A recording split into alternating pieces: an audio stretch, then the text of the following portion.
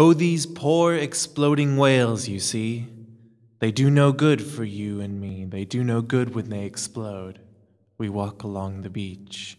We walk along in pairs of two white cotton and our winter fleece. Whales rupture as they are to do, whales come down piece by piece.